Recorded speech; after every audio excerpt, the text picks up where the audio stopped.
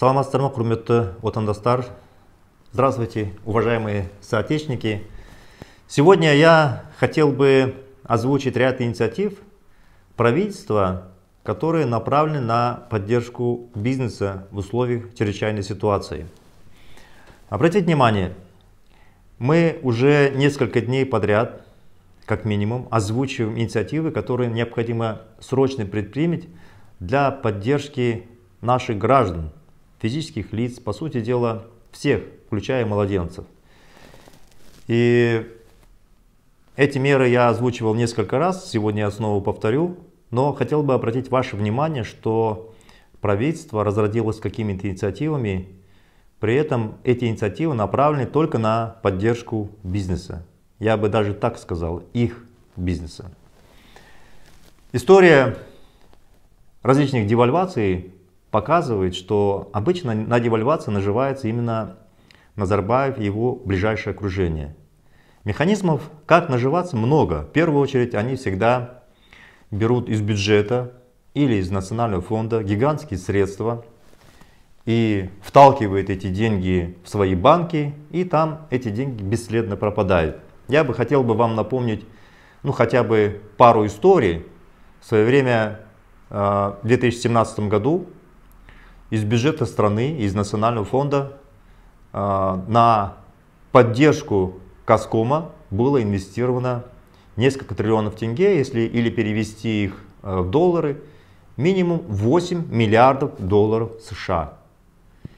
И затем этот Каском за 2 тенге перешел в собственность Тимура Кулебаева. И сейчас фактически Каском поглощен э, Халыкбанком Тимуром Кулебаевым за 2 тенге. Можете себе представить? То есть правительство вливает туда 8 миллиардов, потом такой фокус, и за 2 тенге эта собственность попадает к Тимуру Кулебаеву. При этом она напичкана деньгами, зданиями, инфраструктурой, клиентами и все прочее. И все это попадает в собственность Тимура Кулебаева, и затем он появляется в международных журналах как самый богатый человек страны и все прочее. То есть схема очень такая простая, примитивная и не, и не хитрая. Вот. Не хитрая почему? Потому что ну, народ молчит. Зачем изощряться, придумывать какие-то коварные схемы, когда тупо взяли 8 миллиардов, тупо влили его в Каском и тупо продали его за 2 тенге Тимуру Кулебаеву. Что-то я не слышал, чтобы наш народ по этому поводу сказал, а где деньги Назарбаев? Именно поэтому, потому что наш народ молчит, на его глазах совершаются такие массовые хищения – ну, в связи с тем, что за последние буквально несколько лет ситуация поменялась, мы видим активность людей, мы видим протесты, я считаю, что нам пришло время прекратить этот беспредел со стороны политической верхушки. Ну и второй пример я приведу, когда Цесна банк, который принадлежал руководителю администрации президента Джексибекову, э, перекочевал опять в карманы но Султана Назарбаева. В этот банк было всажено, опять же, 4 миллиарда долларов где-то, как минимум. Это из официальных данных. А в реальности я уверен, что это значительно больше. Этот банк просто перекочевал, опять же, собственность Нурсултана Назарбаева. Я вот два примера вам показываю. В один 8, другой 4. Все, фокус, два банка. 12 миллиардов долларов у страны отсутствует, их украли. И два банка, они перешли в собственность Нурсултана Назарбаева. И поэтому, когда мы знаем, что страной управляет мошенник, мафиози, мы каждый раз должны понимать, что любая помощь, любой кризис, который происходит в этот момент, используется этой политической верхушкой для собственного обогащения. Поэтому, когда вчера и сегодня Такаев начал объявлять различные инициативы, я просто, зная, что это э, мафия, ну, начал анализировать, что же они еще придумывают, пытаясь нагло обмануть людей. И при этом под видом помощи бизнесу э, украсть опять миллиарды долларов. Итак, давайте мы разберем э, инициативы правительства, что решило правительство сделать. Все это, знаете, под видом шумным, таким э, пропагандистским шумом говорится о помощи бизнесу, рабочие места и все прочее. Где-то что-то действительно делается, и под это дело, под шумок воруются триллионы тенге или миллиарды долларов. Ну, сейчас э, я хотел бы озвучить о неком триллионе тенге. Правительство заявило, что якобы э, была принята в свое время программа на 600 миллиардов тенге, теперь это расширяется до 1 триллиона тенге. Давайте поговорим об этом триллионе тенге. Ну, во-первых, что такое триллион тенге? Ну, в масштабах страны, если смотреть финансирование всей страны, это деньги небольшие. Но если его перевести в доллары по текущему курсу, это порядка 2,5 миллиардов долларов. Вот представьте себе, что вот а, что можно сделать с этими деньгами и погреть себе руки на сотни миллионов долларов. Ясно, что эти деньги не попадут а, всему бизнесу, не всему малому и среднему бизнесу, потому что если даже прочитаешь, а, что собирается делать правительство, то сразу видишь, они хотят украсть. Ну, во-первых, представьте себе, что они хотят выдавать деньги под 6 годовых. Но, извините, на прошлой неделе Национальный банк страны поднял ставку рефинансирования, вместо 9,5 сделал 12%. И, как правило, когда Национальный банк объявляет ставку рефинансирования, к нему вы смело прибавляете минимум 5%. А, это процентная ставка, которую накидывают банки и выдают клиентам. То есть 5-6% минимум. Потому что им нужно обслуживать эти кредиты, взять на себя риски. Большое количество людей э, анализирует этот кредит, э, оформляет залоги. То есть вы знаете, банк это большая структура, здания, люди, безопасность. Это все нужно оплачивать. И поэтому банк, конечно, сверху накладывает свои расходы, а минимум 5-6 годовых. Итак, если Национальный банк установил ставку 12, значит рынок не меньше 17-18 годовых. А вы знаете, что розничные кредиты выдаются далеко за 20% годовых. Далеко. И есть микрокредитные организации, которые выдают под 50% годовых. Вот, собственно, так устроено все это на финансовом рынке. Поэтому я задаю вопрос, а зачем надо было с 9,5% поднимать до 12% годовых Национальному банку, чтобы при этом выделить деньги из бюджета и раздать под 6. Где логика? Я по политике Национального банка, банка уже говорил. Это, наверное, тема отдельного разговора. Если э, представители Национального банка хотят со мной подискутировать, в лице председателя Ербола Досаева, пожалуйста, выходите ко мне в прямой эфир. Мы поговорим с вами на профессиональном языке. Итак, что значит под 6 годовых? Ну, представьте, что рынок 18-20 годовых, и тут какие-то компании получают триллион тенге по ставке фиксированной 6 годовых. Ну, вы понимаете же, что так не бывает. Когда на рынке ставка 15, 18, 20 годовых, кто получит под 6 годовых? Только свои. То есть этот триллион тенге разбежится среди предприятий Нурсултана Назарбаева и его ближайшее окружение. Это очевидно. А если нет, если кто-то скажет, да, включите меня, то обязательно с него потребует откат. То есть уже заведомо такая модель, она коррупционная, предназначена для политической верхушки Нурсултана Назарбаева. И сразу эти деньги будут похищены из бюджета страны, как было в предыдущие годы, когда каждый год Нурсултан Назарбаев по 10 миллиардов долларов всаживал в свои банки, они там бесследно исчезали. Далее.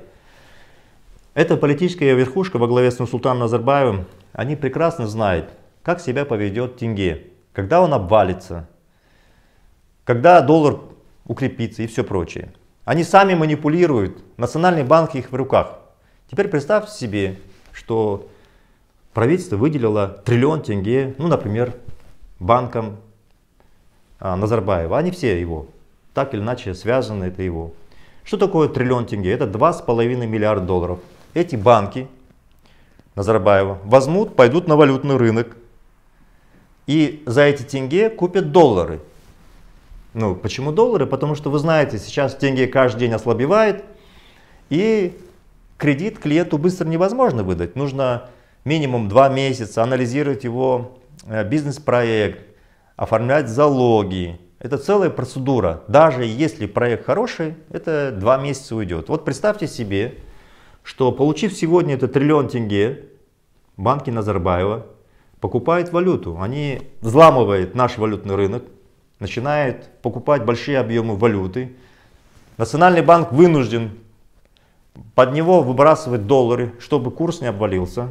И вот представьте себе, на эти тенге банки Назарбаева приобретают 2,5 миллиарда долларов. Теперь, через месяц, курс становится 700 или 600. Но в любом случае, что приблизительно на 50% тенге девальвируется в течение двух месяцев. Это что значит? Вот 2,5 миллиарда долларов. Через два месяца, когда нужно выдавать клиенту кредит, они продают на рынке э, половину. Это будет те же самые триллион тенге. То есть курс будет там 600, например, или 700. Значит, они из 2,5 миллиардов долларов, миллиард двести просто чистыми заработают, только зная, как себя поведет тенге, девальвируя. То есть им нет необходимости продавать все 2,5 миллиарда долларов, достаточно продать, например, э, ну, я не знаю, там полтора миллиарда долларов, и это будет те же самые триллион тенге, они эту бизнесу отдадут триллион тенге, а разницу себе положит карман свыше миллиарда долларов. Понимаете, да, как это все устроено?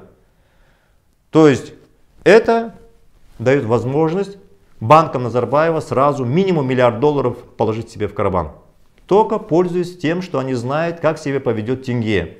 Более того, не то что зная, они даже прикажут Национальному банку, так, сегодня ты вкладывай доллары, завтра не вкладывай, пусть тенге обвалится, и тогда мы продадим меньшее количество валюты и заработаем свыше миллиарда долларов.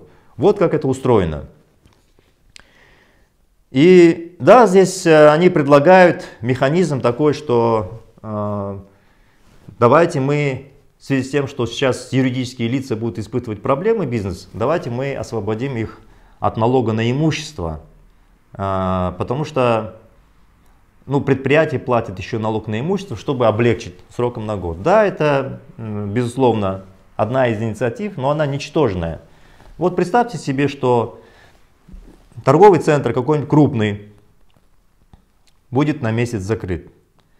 Так вот, те убытки, которые получит торговый центр от того, что ему арендаторы не будут платить деньги, от того, что он просто будет стоять впустую, он только за один месяц работы потеряет огромные средства. И поэтому налог на имущество вообще его не спасет.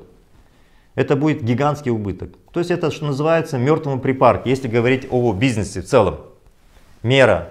То есть представьте себе, вы знаете, сейчас будет стагнация бизнеса.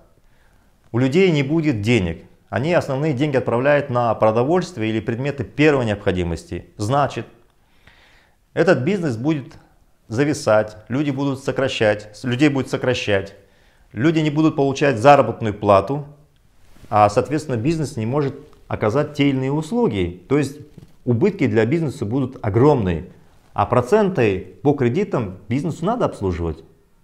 И какие меры в этом случае принимает Назарбаев?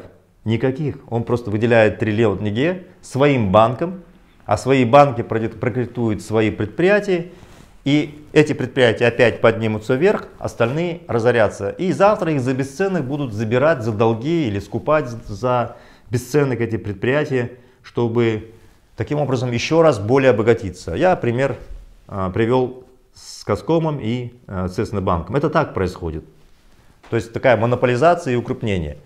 Поэтому это, конечно же, никаким образом не поможет. Теперь смотрите, здесь э, очередные тоже инициативы, еще где можно украсть банком Назарбаева. Вот они говорят, мы выделяем 300 миллиардов тенге, так называемая дорожная карта, что эти 300 миллиардов тенге придут, и мы будем ремонтировать дороги, здания, объекты соцкульбыта и все прочее, и там люди получат работу. Звучит красиво. Но в реальности получит так. Ну, во-первых, эти здания, чтобы реконструировать, ремонтировать, на них должен быть проект. Заранее должно быть все отработано. Но этого же нет. Они сейчас выделяют. Значит, они будут выделять объекты, будут думать. Потом на него будет проект писаться. Потом эти деньги должны распределяться по тем так называемым ремонтным работам, это в лучшем случае через 3-4 месяца. Кризис сейчас, люди сейчас теряют работу, немедленно. Поэтому эти 300 миллиардов опять будут лежать в банках Назарбаева. Они купят валюту на 300 миллиардов тенге, будут сидеть в долларах США тенге обвалится, и потом они опять на 300 миллиардов, если они купят по текущему курсу, это приблизительно ну, около 700 миллионов долларов. Через два месяца, когда надо будет эти деньги отдавать, тенге обвалится на 50%. Значит, из 700 миллионов долларов они только 350 отдадут, миллионов долларов по курсу 600-700, а 350 миллионов долларов опять заработают. То есть я вам показываю кучу механизмов, когда банки Назарбаева просто на ровном месте зарабатывают деньги, потому что эти деньги из бюджета вливаются в банки Нурсултана Назарбаева. Потом обратить внимание, а, вот мы вышли с инициативы, что для физических лиц а, проценты с 1 марта до 1 июля должно оплатить правительство. У правительства таких инициатив нет для физических лиц и для юридических тоже. Но это им и не нужно, потому что их предприятия тот самый триллион тенге получат, они там заработают, основная масса предприятий упадет. И вот здесь, конечно, очень э, смешно слушать объяснение э, регулятора агентства финансового надзора, бывшего министра Абылкасымова, сейчас возглавляет финансовый надзор. Так вот, они говорят, э, это чрезвычайная ситуация, э, вирус, и, как правило, в этих ситуациях заемщики ну, попадают под э, правила этих чрезвычайных ситуаций и говорит, что поэтому различным организациям, микрокредит, микрокредитам и все прочим не, начисля, не начис, запрещают начислять пени и штрафы. Но извините, я вам скажу так, когда наступает ЧС, не по вине заемщика, вообще выступает ситуация, когда в принципе можно списать проценты, не просто пени штрафы не взимать, а просто проценты списать. это должно сделать государство. Банки, я здесь хочу ответить, когда говорят, а вот что банки пусть спишут. Банки не могут списать. Это я вам как бывший банкир, как специалист в банковском секторе скажу. Если у банка э, формируется процентный доход, и если он его спишет, вот на эту сумму у банка формируется убыток сразу автоматически. Международные разные нормативы, которые регулируют деятельность банков, а наши банки работают в рамках международных стандартов, приведет к тому, что наши банки будут объявлены убыточными или банкротами. Поэтому, чтобы этого не было, мы предложили очень простую модель. Когда правительство выделяет деньги, оплачивает проценты физических лиц с 1 марта по 1, до 1 июля, и, соответственно, банки получают свои проценты, физические лица не платят за эти кредиты свои проценты. То есть все нормально. И банки функционируют, и физические лица тоже не платят эти проценты, и наступает такое серьезное облегчение. Вот правительство это избегает. Видите, вот они просто сказали, пени и штрафы не будем взимать. Да какие пени штрафы? О чем вы говорите? Сейчас все будет останавливаться. Не то, что пени и штрафы, они проценты не смогут заплатить, основную сумму не смогут заплатить, если не примет не, э, экстренные меры а те, которые я говорил и которые я сейчас собираюсь озвучить. Ну и потом, а, правительство озвучило, что будет новые бюджетные условия, что якобы теперь те квази так называемые государственные предприятия не будут делать тендеры, они сразу побегут, будут покупать сами, будут иметь право у одного источника покупать. Это что значит? Это значит, что государственные наши предприятия будут покупать у своих продавцов товаров и услуг. И там дели, и будут покупать по завышенной цене. Они и так сейчас получают откаты разные. Через даже тендера, подставные компании делают. Вы знаете, как у нас тендеры проходят. А здесь и эти ограничения сняты. То есть кризис опять на руку этой политической верхушки. Они будут сами покупать без всяких тендеров у кого-то, договариваться, пилить деньги. Поэтому любое перемещение государственных средств по таким каналам фактически приведет к тотальному воровству. Чтобы вы понимали, что значит инициативы правительства Такаева, Назарбаева. Итак, вы видите, что предложения, которые озвучил э, Такаев, его правительство, они, по сути дела, просто приведут к новому воровству. Банки будут снова Назарбаева жреть, все эти тендеры отойдут в сторону, они будут сами самостоятельно принимать решения, пойдут опять откаты. Никакие новые, новые рабочие места не могут быть созданы в условиях кризиса, потому что если их не создавали В старых условиях, когда цены на нефть были под 70 долларов за баррель, ну, кто создаст новые рабочие места, когда цена на нефть будет 20 долларов? Кто создаст? Ни у кого не должно быть иллюзий. Это просто воровство денег. Теперь я приводил вам пример, что достаточно банкам Назарбаева получить триллион тенге, они купят 2,5 миллиарда долларов, надавят на валютный рынок, рынок, это приведет к новому обвалу тенге. Они купят эти доллары, потом тенге обвалится. То есть фактически все действия правительства Нурсултана Назарбаева направлены на дестабилизацию валютного рынка страны. Дестабилизацию. Что мы предлагаем? На самом деле решения очень простые на поверхности для бизнеса. Мы в течение нескольких дней озвучили инициативы, которые направлены на поддержание физических лиц всех граждан страны. Я еще раз их повторю сейчас, но здесь я сейчас хотел бы несколько минут остановиться на поддержке бизнеса. Есть очень простое решение. Известно, что э, банки выдали кредиты юридическим лицам приблизительно на начало года 12-13 триллионов тенге. Это сумма небольшая. Так вот, там процентная ставка разная, ну в среднем 15, 18, 20 годовых. И вот сейчас правительство заявляет, что будет выдавать до триллиона тенге по ставке 6 годовых. Очень интересно, да, когда рыночная ставка 16, 18, 20, они будут выдавать под 6 годовых своим компаниям. Ну и триллион тенге по текущему курсу приблизительно 2,5 миллиарда долларов. Что мы предлагаем? Мы предлагаем всему бизнесу списать проценты, не списать, а уменьшить процентную ставку на 10 годовых или на 12 годовых. На 4 месяца это приблизительно 2,5-3% э, обойдется от суммы кредита. Всего лишь нужно компенсировать от всего портфеле порядка 3-4%. Если мы возьмем 12 триллионов, то если перевести в долларах, где-то грубо, по, пока они все это оформят, тенге будет минимум 500. Так вот, грубо это не более 500 миллионов долларов США. То есть мы предлагаем, чтобы правительство компенсировало процентную ставку минимум на 10 годовых всем юридическим лицам, которые обслуживаются в банках второго уровня. В этом случае, когда происходит только компенсация процентов, банки получат эквивалент в тенге приблизительно 250 миллиардов тенге или 500 миллионов долларов, грубо, максимум. Но есть разница. Триллион тенге пожертвовать, мы же знаем, что триллион тенге пропадут. Или всего лишь 4 раза меньше, 250 миллиардов, это приблизительно 500 миллионов долларов. Триллион тенге это порядка 2,5 миллиардов долларов, а 250 это 500. То есть мы предлагаем фактически в 5 или в 4 раза меньше потратить на поддержку бизнеса, но всего бизнеса, не бизнеса Назарбаева.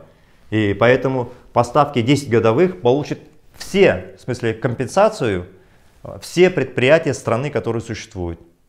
Это совершенно другое предложение, при этом уменьшает издержки, при этом не позволяет банкам, получив этот триллион тенге, надавить на валютный рынок и обвалить тенге еще раз. Очень простое решение. Я обращаюсь сейчас к Асмжимар Токаеву, к примеру Мамину, ко всем, кто в банковском секторе работает и предприятиям страны, малому и среднему бизнесу. Имейте в виду, мы выходим с инициативой, чтобы все предприятия страны, все юридические лица получили в течение 4 месяцев с 1 марта до 1 июля снижение процентной ставки на 10 годовых. Если у вас ставка 15 годовых, значит 10% годовых с вас должно быть списано и фактически вы будете платить всего лишь 5 годовых. Вот собственно что мы предлагаем. К чему это приведет? Это приведет к тому, что у всех юридических лиц страны будут меньшие расходы. Соответственно, эти предприятия могут компенсировать те потери, связанные с развитием коронавирусом, связь, связанные с тем, что сейчас в стране объявлен ЧС. Вы теряете рабочие места, вы теряете покупателей, но тем не менее вы платите проценты. А здесь мы вам предлагаем, если вы будете добиваться вместе с нами выполнения этих условий вы фактически существенным образом начинаете уменьшать свои издержки. Вот она прямая помощь не только предприятиям Назарбаева, а всем предприятиям страны. Вот что мы предлагаем. И когда нынешнее правительство говорит о помощи предприятиям, оно забывает о людях. А у людей сейчас проблема реально заплатить за продовольствие, заплатить за коммунальные услуги. Я знаю, бродят разные идеи, а давайте мы э, спишем, например, коммунальные услуги. Это все может быть, можно обсуждать, но на самом деле есть простое решение. Очень простое решение, когда каждый гражданин получает поддержку разовую в размере 50 тысяч тенге. И это э, должны получить такую поддержку, включая младенцев. То есть, если у вас членов семьи 4 человека или 6, соответственно, вы получите суммарно на семью 200-300 тысяч тенге. Тогда вы можете покрыть и коммунальные расходы, и продовольствие, что называется сейчас встать на плаву, быть на плаву. Плюс те инициативы, которые мы озвучиваем, опять облегчат жизнь предприятий.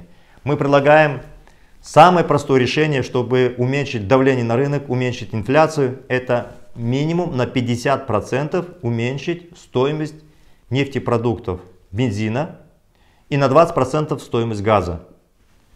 И тогда, опять же, миллионы наших граждан используют автотранспорт. Они будут платить в два раза меньше средств за бензин. И эти освободившие деньги им позволят каким-то образом держаться на плаву, покупать товары услуги предприятий. И это прямо окажет благотворное влияние на жизнь физических лиц, всех граждан страны и на бизнес. Мы будем разные инициативы еще озвучивать, но, уважаемые друзья, обратите внимание, все наши инициативы направлены на поддержку всех граждан страны.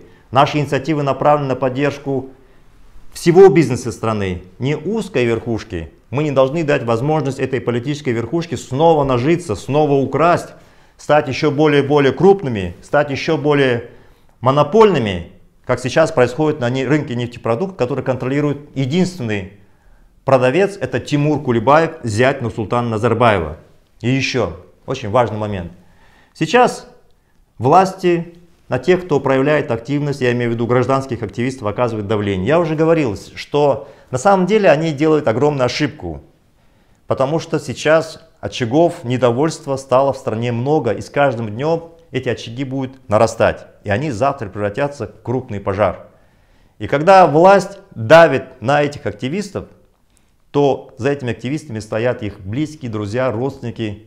И на ситуации, когда правительство применяет такие меры, по, связанные с чрезвычайной ситуацией, и когда у вас проблемы, у основной части населения будет с, продов, с продовольствием, с рабочими местами, вас сокращает, вы понимаете, что поле для конфликта резко расширяется. Поэтому, уважаемые активисты, вам надо сейчас проявить терпение. В ближайшие буквально максимум месяц очаг недовольства созреет по всей стране. Я вчера говорил, что у нас созрела предреволюционная ситуация. Власть не может управлять, народ не хочет и не может так жить. Поэтому в ближайшее время, если мы объединимся, если мы выдвинем наши требования, безусловно, мы их добьемся, потому что власть будет сметена. В этой связи я считаю, что мы должны выдвинуть еще требования. Мы должны потребовать от этой власти освободить всех политических заключенных. Мы должны потребовать от власти, чтобы прекратили преследование гражданских активистов. Мы должны потребовать от правительства, чтобы были списаны разные штрафы автомобилистов и другие административные штрафы, которые эта власть накладывает на людей за их активность. Мы должны и это потребовать. Сейчас действительно пришло время перемен. Сейчас действительно очень опасная ситуация. Вы не должны недооценивать, что коронавирус сейчас развивается по всему миру, и все ведущие страны мира закрывают границы, делают режим карантина. Это реальная угроза. Вы не должны недооценивать. Но с другой стороны, как я говорил, любые кризисы это возможность. Для нас сейчас возможность. Это правительство, этот режим снова все активы, все деньги страны будет подгребать под себя. И если вчера, совсем недавно, у наших людей был какой-то запас прочности, сегодня уже этого нет. И поэтому у нас есть возможность в условиях такого кризиса, полномасштабного, изменить нашу жизнь взять все в свои руки, добиться смены политического режима. Да, пусть это будет революция, будет мирная революция, когда десятки тысяч людей, разозленных действиями этого правительства, сменит этот режим. И мы на пороге этих изменений. Мы каждый день должны думать, когда протестуем, когда недовольны, а что же делать, мы для себя должны сказать, да, революция, да, смена политического режима, у страны есть политическая организация, демократические выборы Казахстана, ее лидеры знают, как развивать страну, знают, что нам должность президента не нужна, что мы построим парламентскую республику. И в конце концов избавимся от этого мафиозного режима. Алга Казахстан.